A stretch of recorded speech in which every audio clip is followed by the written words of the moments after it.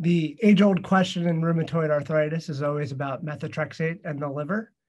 This is Eric Dein, MD, reporting on behalf of RheumNow at ACR 2020, ACR Convergence from Baltimore, Maryland. There was lots of great information from the morning poster sessions today.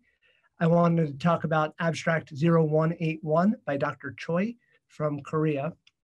Looked at 92 patients with non-alcoholic fatty liver disease NAFLD and to see if, uh, if there's a difference in patients with methotrexate, uh, that was a risk factor for development of NAFLD. This was a case-controlled retrospective study.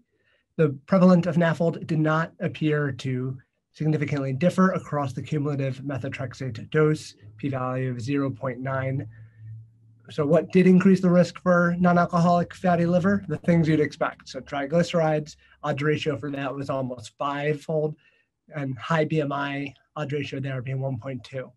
Does that answer the question? A bit. So they, they say that this the benefit of the study is that it's real world data, but we are subject, of course, to the, the bias of this being retrospective analysis.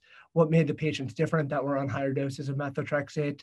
Were there patient characteristics that weren't fully accounted for, biasing the patients that did well on the higher doses of methotrexate without hepatic disease? I think that that is a limitation in my mind, but I, I do agree with Dr. Choi and their team's take takeaway that you should look at the whole patient picture, not just the methotrexate. So we, we treat the whole patient. So if you're worried about the about the liver, talk to them about their weight, their diet, not just focusing on the methotrexate dosage.